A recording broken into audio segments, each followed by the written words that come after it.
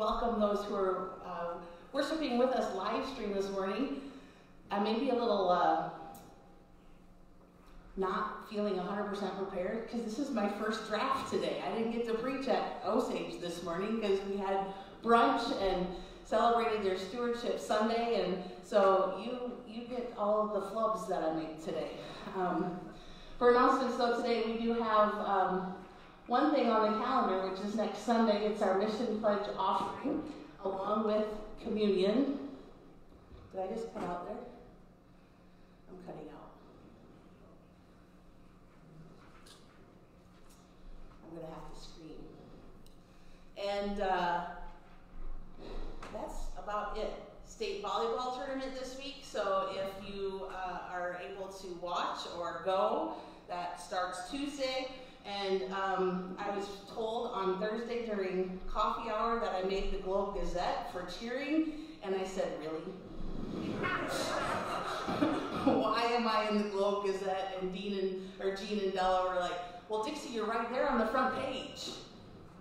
And sure enough, there I was next to Susie, though you really couldn't see Susie because she was next to me behind someone else. So, anyway, um, also next Sunday between 8:30 and 12:30. So before you come to worship next week, you could go and get a Dad's Belgian waffles, all you can eat, at Sacred Heart Parish Hall in Osage.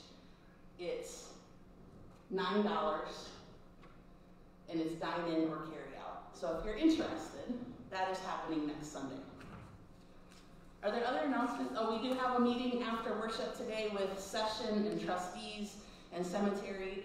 And anybody else who would like to be nominated to be on any of those boards, you can stay because we are in that process of nomination for next year. And uh, so we're going to probably be looking for some volunteers. Or if you're happy with how things are going, people may have to just stay on the boards. That's how it works, right? All right, those are my announcements. So let us turn to why we're here to worship our Lord and Savior Jesus Christ. And for all who are able, you please stand and join me in our call to worship. Hear, O people of God. Our God is one. Hear the commandments of our God. First, love your God with all your heart, with all your soul, with all your mind, and with all your strength. Hear, O people of God, our God is one. Recite the commandments to your children and hold them in your hearts. Second, love your neighbor as yourself. There is no commandment greater than these to love. Amen. And so let us remain standing and join in our opening hymn, A Mighty, Mighty Fortress is Our God, which is hymn number 43.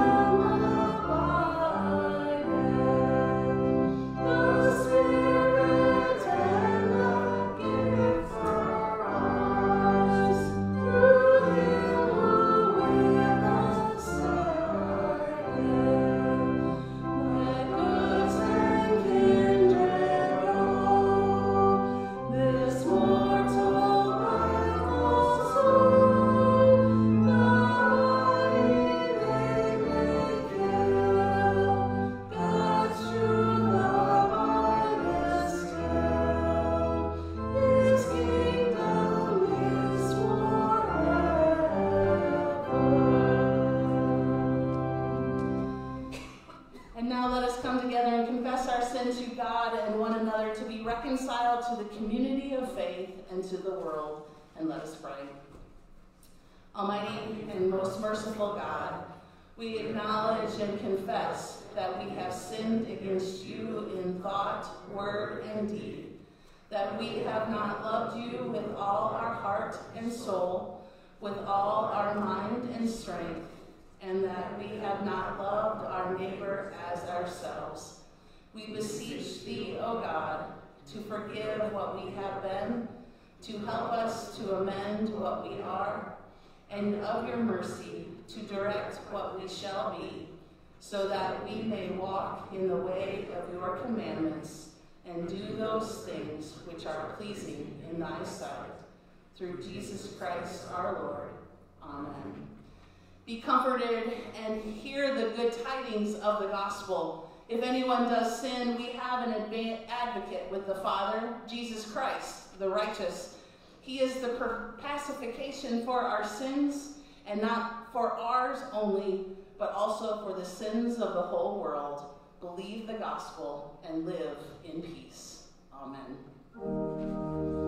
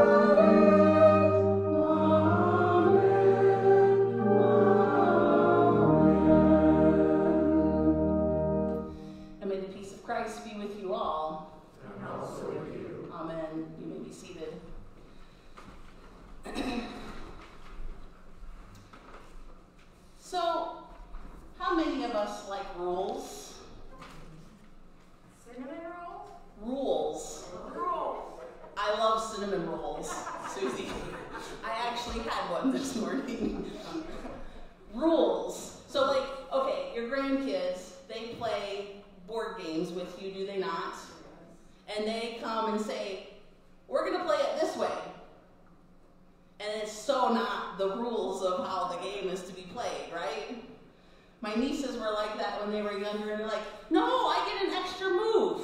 How do you get an extra move? Not how that's done. Well, if you think about the rules in our life, we have speed limit signs. We have, what else? Seatbelt. Seatbelts. Taxes. Taxes. Masks. Masks.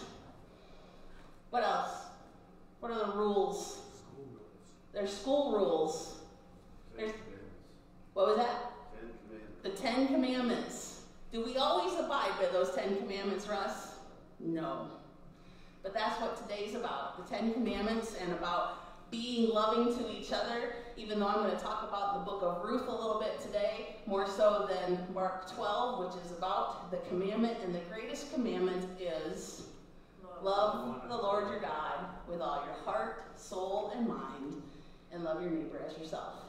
Sometimes, as I wrote probably in my uh, devotional on Wednesday, I was thinking, you know, we don't always do that very well, loving our neighbors as ourselves. But there are days when we don't love ourselves very well, right? And so that reflects upon other people. And Yet God reminds us that we are always loved. And that is the most important book and rule in the book. Even those Ten Commandments being narrowed down to that one or two commandments, that's how we are to live. And so sometimes it may be difficult to remember all 10 of those commandments. Just remember the two that Jesus taught us and carry that out through your life. Because today we get to hear about how Ruth and Naomi and Orpah lived that out in that first 18 verses of Ruth, in the first chapter of Ruth.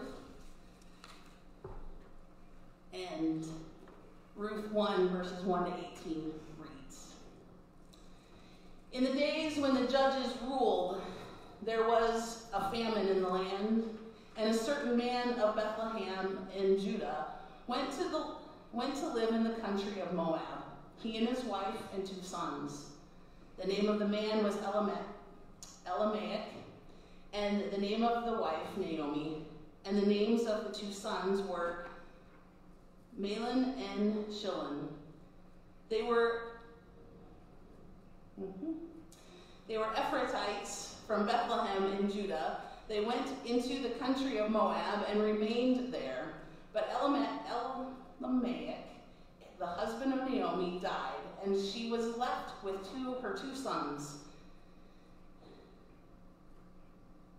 Yeah. These took Moabite wives. The name of the one was Orpah, and the name of the other Ruth. When they had lived there about ten years, both Mahlon and Chilion also died, so that the woman was left without her two sons and her husband. And then she started to return with her daughters in law from the country of Moab, for she had heard in the country of Moab that the Lord had considered his people and given them food. So she set out from the place where she had been living, she and her two daughters in law, and they went on their way to go back to the land of Judah. But Naomi said to her two daughters in law, Go back, each of you, to your mother's house.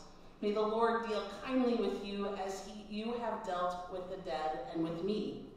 And the Lord grant that you may find security, each of you, in the house of your husband.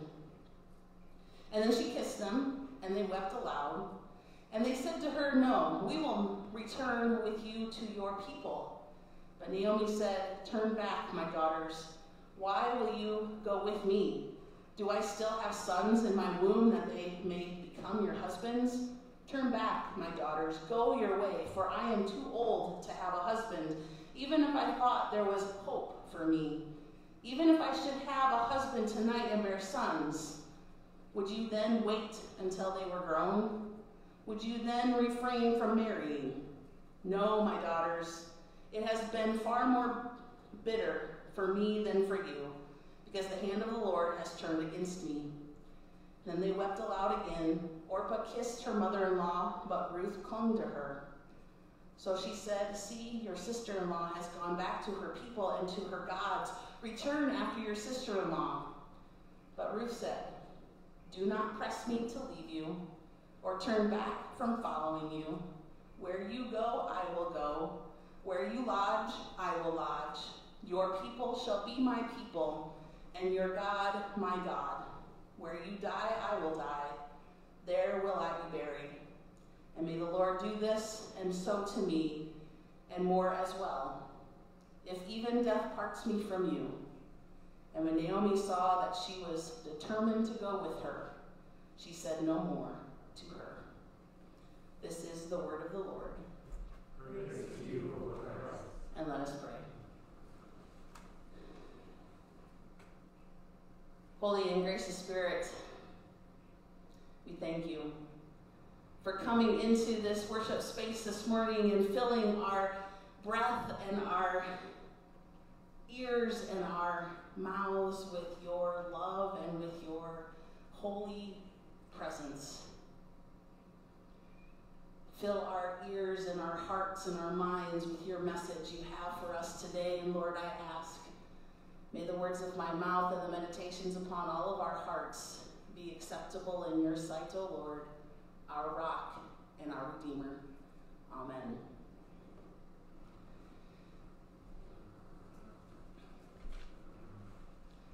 Clinging to someone.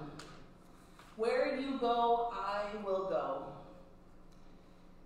That was the image that I have been kind of pondering since about Thursday or Friday of this last week, thinking about when I was a child, I clung to my parents. And most of you can relate to that. When you were children, that's who you clung to. Where they went, you went because they didn't, you didn't want to be left behind, you didn't want to be lost. But I have to tell you a story that'll probably embarrass my parents because they watch this every single week. Not live stream, but they watch the recorded version. When I was born, our trip, family vacation, was a day or two Adventureland in Des Moines. And I don't recall the story because I was a baby. I was probably about six or nine months old.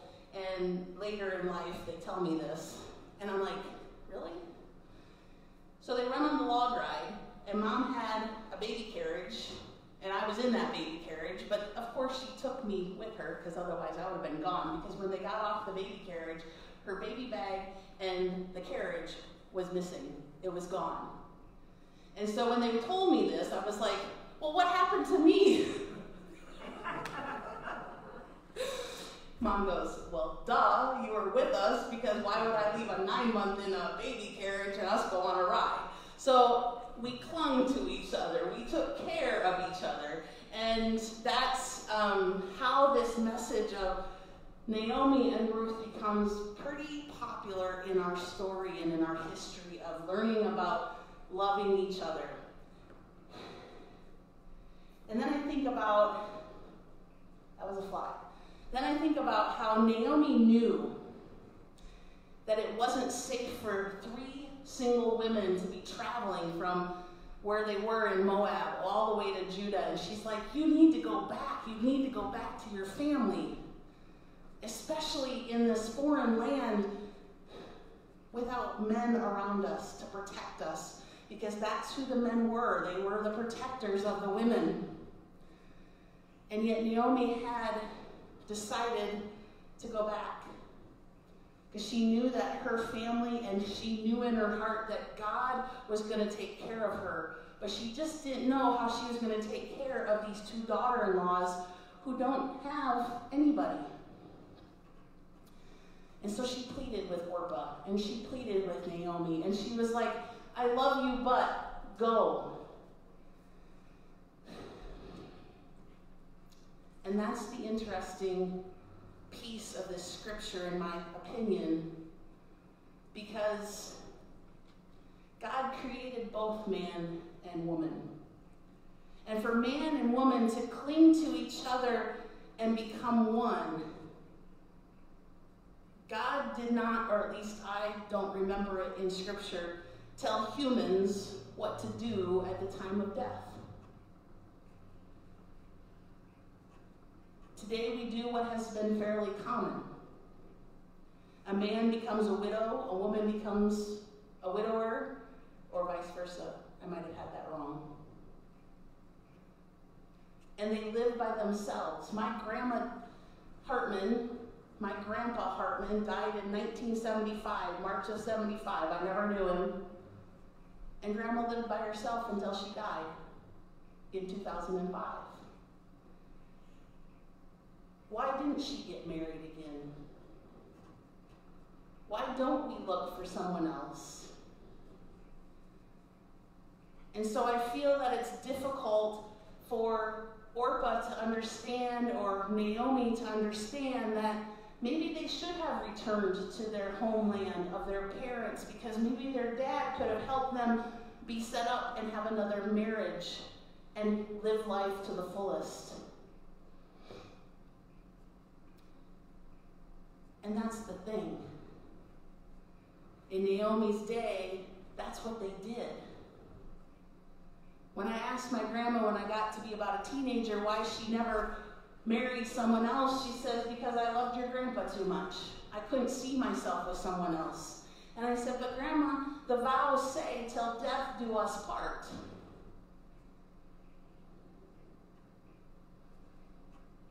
And she just said, This is how I want to live. And she was happy with that. And that was her practice, and that's what she did. And it was the same for Naomi and Ruth and Orpah. They were going to figure out what to do as single ladies going on with life, even though Naomi didn't really know what to do besides tell Ruth, okay, you can stay, and bless Orpah on her way. That's how she loved them. Now, I would like to say every one of us have someone that we have clung to in our life or we cling to today. It's either our spouses or our best friend or our siblings, whomever it is, we cling to them because we know they love us for who we are. We don't have to be some stranger within our own bodies. They don't take us for granted, and the relationship is mutual. And that's what Naomi and Ruth's relationship became. It became a mutual friendship, even though Naomi was much older than Ruth. But it was one of those pieces where Naomi ended up being Ruth's parent, who helped Ruth find someone to love and marry after her first husband's death, and that was Boaz. Now, if you read the whole story, it was done in kind of a sly way. And yet, in the end, Ruth married Boaz, and all three of them were safe from harm. Some would say God had a hand in that because he protected them. Others would say, well, Naomi had a plan all along, and this is how it all played out. But let's, let's flip that scripture upside down for just a second and think about our relationship with God. Because really, that's what the point of this scripture is the relationship, not so much between human and human, but a relationship with God in whom we trust. Because ultimately, every scripture we read in our Bible points to a lesson about how we can grow in our faith and know God and know Jesus and know the Holy Spirit in a deeper level than we ever have known before. Someone said to me a few weeks ago, You know, Dixie, there are some adults in the pews that may not have grown as much from the time that they had confirmation or Sunday school. And so maybe we should think about teaching from day one of Genesis. It would take me a long time to do this, so don't think I'll do this. And start teaching us like more of that confirmation level of deeper learning again. And I said, well, yeah, I guess we could do that. But I said, each one of us does our own growing and learning on our own, or I hope we do, versus just coming on a Sunday morning and hearing me preach. But again, the question is, are we growing? And maybe we are because it's not fair for me to judge you and tell you that you're not growing in your faith. Because I'm still growing. I learn something every week when I come to worship. I learn something every week when I prepare for worship. I'm younger than most of you in these pews, and yet I have a lot to learn. But yet you look to me and say, Dixie, what does this mean? I may not always have the answer. I'm a question builder because that's how I was taught. Raise those questions and start thinking for yourself because that's going to bring your relationship with the Trinity a lot stronger for you. And I guess the point I'm trying to make is that there are times in our lives when we might have to let go of the familiar of what we know and say to God, Wherever you go, God, I will go. Don't leave me behind. And that's hard. That's a really hard thing to do because we're human. We have our own agendas. And when God starts to say, Well, I want you to go here, or I want you to go do this, or I want you to go, we hesitate. But wouldn't it be an awful feeling in the world if we didn't follow what God was asking us to do? To be left behind? When we might see somebody else doing what God has called our friends and neighbors to do, and we're sitting over here?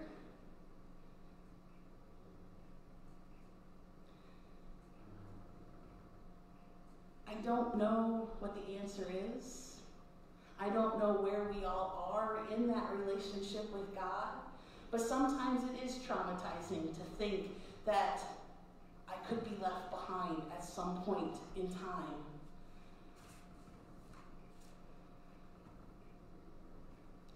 When we have a deep, deep relationship with God, it's felt in our whole being. People see it. People know that we walk with somebody holier than thou. We hear God in our dreams. We envision the places that He wants us to go and has set forth before us. And it's very similar to with His Son, Jesus Christ, who walks alongside of us and who gave us those Ten Commandments and who tells us to love each other. And each time those beings are going to push us and we're going to pull and we're going to restrain and we're going to love. And yet it's that relationship building because all three of them, the Spirit, Jesus, and God, all want us to be in that deep relationship that Naomi and Ruth had, to be inseparable. And it takes time to develop. And yet we have that immediate possibility at our fingertips.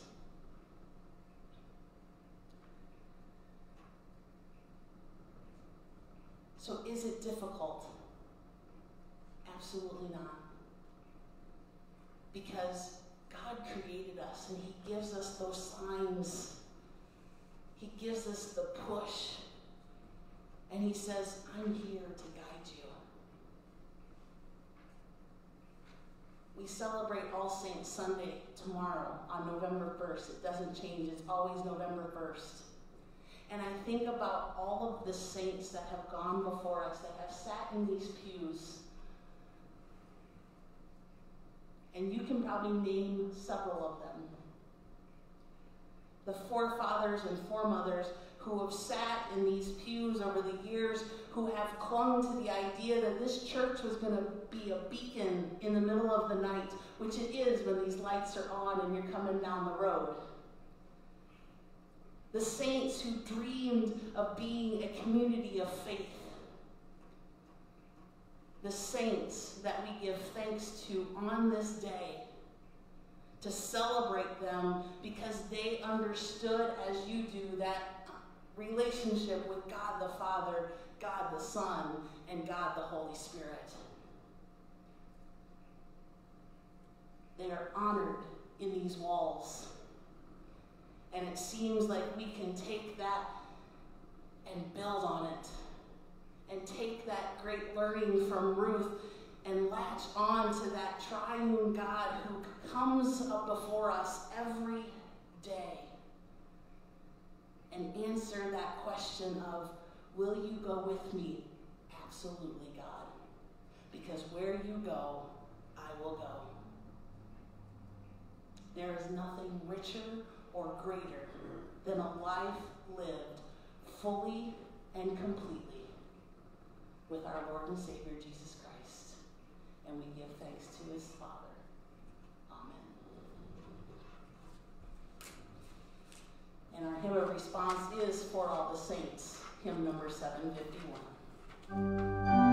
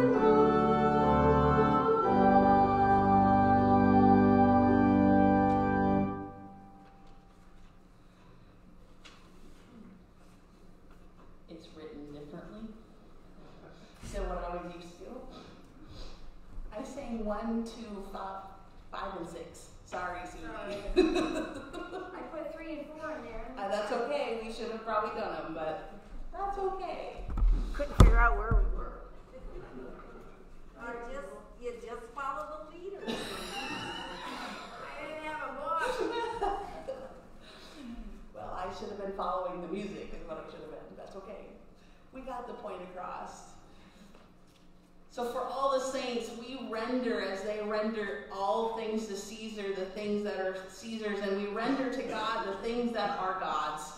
Return those things that are God's back to Him and bring glory, honor, and power unto His name by giving your tithes and offerings. And we continue to thank you for bringing those offerings in Sunday morning. And if you are sending them in via our live stream, we thank you for your continued donation and we ask you for your continued support as we go about this week. Amen.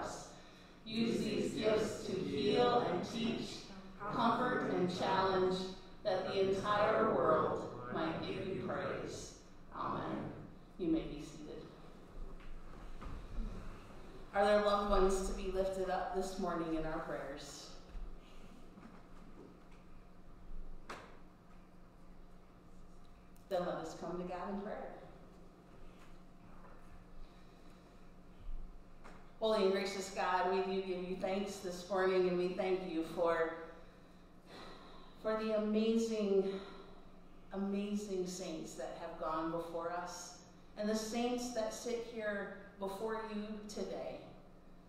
Lord, we ask for your blessing to be upon each and every one of them. Pour out your spirit, Lord. Help them, help us take your message into the world and be that beacon of light that shines so brightly in the darkness.